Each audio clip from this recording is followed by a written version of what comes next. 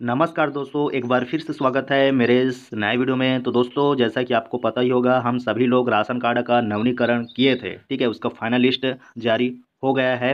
क्या हमारे लिस्ट में नाम है, या फिर नहीं, कहीं छूट तो नहीं गया है, ठीक है? उसको हम लोग देखेंगे। तो आप वीडियो पर बने रहिए। अगर आप इस चैनल पर नए हों तो चैनल को सब्सक्राइब ज़रूर कर लीजिए। तो चलिए, कैसे देखते हैं आज के इस वीडियो में हम लोग देखेंगे। तो सबसे पहले आपको गूगल पर आ जाना है। गूगल पर आने के बाद आपको लिखना है सी जी खाद्य। ठीक है, बस इतना टाइप करना है। उसके बाद कुछ ये वाला पेज आपका ओपन हो जाएगा। यहाँ पर लिखा है वितरण सूची। ठीक है, वितरण सूची लिखा है, उसी पर आपको क्लिक करना है। ठीक है, वितरण सूची पर क्लिक करने के बाद, ठीक है, कुछ इस प्रकार से पेज ओपन हो जाएगा। यहाँ पर आपका ज़िला।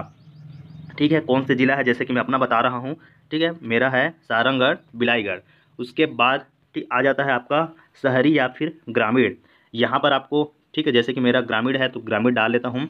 उसके बाद आ जाता है आपका विकास खंड विकास खंड मेरा है बिलाईगढ़।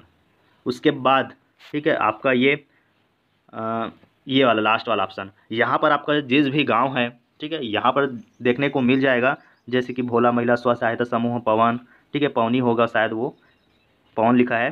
यहाँ पर आप, जैसे कि आप देख पा रहे होंगे, यहाँ पर जो समिति, ठीक है, समिति, जितने भी समिति उन सभी का नाम दिया हुआ है, जैसे कि जय माँ समलाई महिला स्व सहायता समूह, ठीक है, जितने भी समूह हैं, उसके बाद नाम भी दिया हुआ है तो आपको नाम को देखना है, अगर समूह का नाम मालूम नहीं है तो ठीक है, कोई दिक्कत नहीं है। इसमें मेरा है, ठीक है, ये, महिला स्व सहायता समूह, जमगहन, इसी पर आपको यहाँ पर एक बार क्लिक करना है ऐसे करके, ठीक है, उसके बाद आपको जानकारी देखें, ठीक है, जानकारी देखे यहाँ पर जानकारी देखे। इसको एक बार आपको क्लिक कर देना है। थोड़ा सा वेट लेगा, ठीक है? ओपन होने में क्योंकि नेटवर्क मेरे में कम है तो थोड़ा सा पेशेंस रखिए। ठीक है? नहीं खुला क्या? हम्म ओपन हो गया है। दोस्तों, ये रहा, ठीक है? जितने भी हमारे ग्राम पंचायत का, जितने भी राशन कार्ड है, कितना एक्सेप्ट नवनीकरण हुआ है किन लोगों का एक्सेप्ट हुआ है, ठीक है? इसके बारे में आप यहाँ पर राशन कार्ड आप रख लीजिए अपने पास, यहीं पर आपको, ठीक है, मिलान कर लेना है कि आपका कौन सा क्रम है, ठीक है? नाम को ढूंढते हुए मत जाना, यहाँ पर आपका राशन कार्ड जो दिखाई दे रहा है, ये वाला, ठीक है?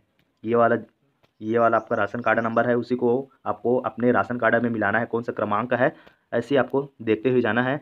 अगर इसको आपको प्रिंट करना है, ठीक है? तो ऊपर में यहाँ पर, ठीक है, किनारे में लिखा हुआ है, प्रिंट का, ठीक है? यहाँ पर ही आप प्रिंट कर सकते हो पीडीएफ को या फिर सेव भी कर सकते हो। तो दोस्तों, कैसा लगा मेरा आज का वीडियो अगर वीडियो में अगर, ठीक है, नया हो तो चैनल को सब्सक्राइब ज़रूर करना।